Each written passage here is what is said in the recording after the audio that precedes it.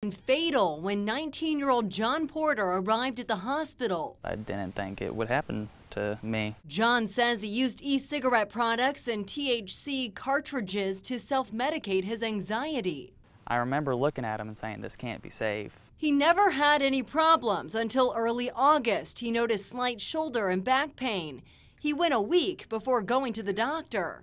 I should have acted sooner than what I did. He ended up in the hospital for 17 days. Once it had like completely collapsed, when I would bend over, I would feel it hit the inside of my chest. His mother, Kim Porter, said there were no warning signs. The Indiana State Department of Health contacted Kim about John's case, wanting to speak with his doctors. So he had four surgeries in total, um, four different chest tubes.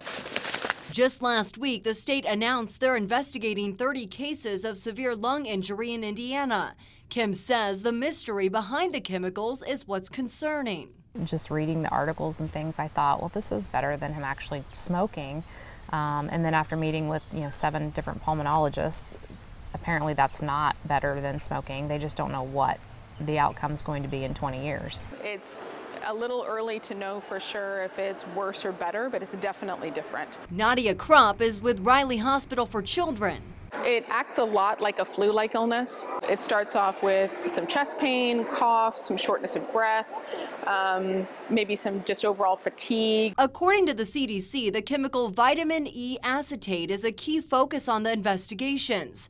Officials have found it in nearly all vaping products that contained THC. And so I would advocate for, for stopping uh, using of any vaping products until we know more information. John has since thrown out his e cigarettes and vaping products. That was a really bad experience. Not just for me, but to see her go through it too. As a mother, it's it was traumatic. For Kim, it's an experience she will now use to educate others. If it can happen to my kid, it can happen to anybody's kid. In Marion, Melissa Crash, Fox 59 News. A lot of families with young people in the home having this conversation.